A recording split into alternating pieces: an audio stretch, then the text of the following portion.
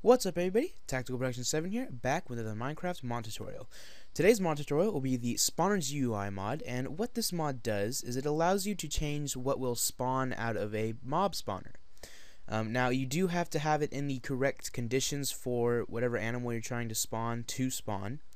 So for instance, if you're trying to have it spawn zombies, it needs to be in a dark area.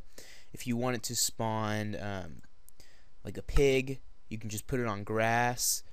Um, so you do have to have the correct environment for it. So we'll go ahead and set this down.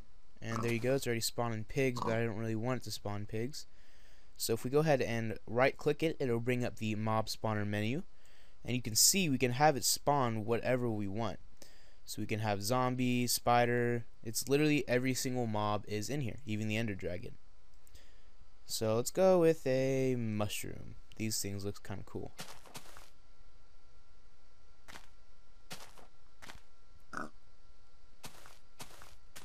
Should spawn here in a second. There we go. So there we've got our mushroom cow. Let's see what else can we spawn. Let's go with a slime. Let's see if that I don't think I'm in the correct area, but it might spawn.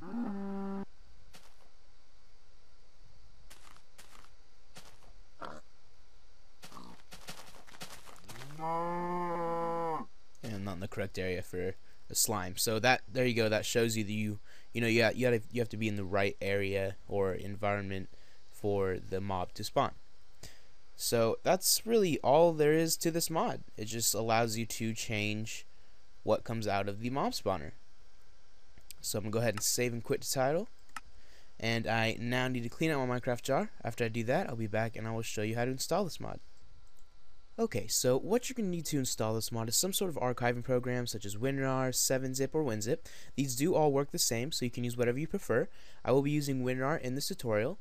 Then you're going to need to download ModLoader and the Spawner GUI mod itself. So to download the ModLoader and Spawner GUI, I'll go ahead and give you the link to this page in the description. So you're just going to go ahead and scroll down until you see ModLoader 1.1, and you can either do download from AdFly or direct, whatever you prefer to do. So after you download ModLoader, go ahead and scroll down some more until you see Spawner GUI 1.1, and again you can download from AdFly or direct, whatever you prefer. So that is how to download the ModLoader and Spawner GUI. Now when you're ready to install it, go ahead and come over to Start, then type in percent app data percent, just like this down here. Then go ahead and open up your roaming. Now open your .minecraft, then go into your bin and left click your Minecraft jar, then right click it, and then do open with and select whatever archiving program you're using. I'm using WinRAR, so I'm going to go ahead and open it with WinRAR. So there you go, got your Minecraft jar open, and your bin, we do not need this open anymore, so we can go ahead and just close that. So once you got your Minecraft jar open, go ahead and open up ModLoader, highlight all these class files, and drag them into your Minecraft jar, and hit OK. Go ahead and close ModLoader.